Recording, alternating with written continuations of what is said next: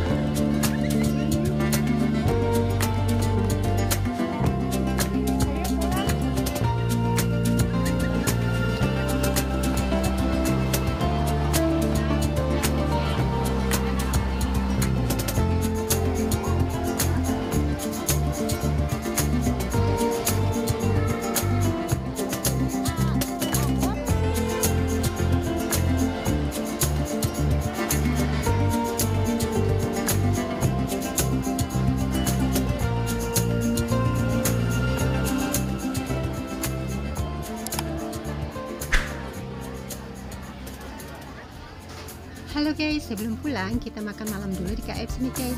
Terima kasih yang sudah nonton. Assalamualaikum.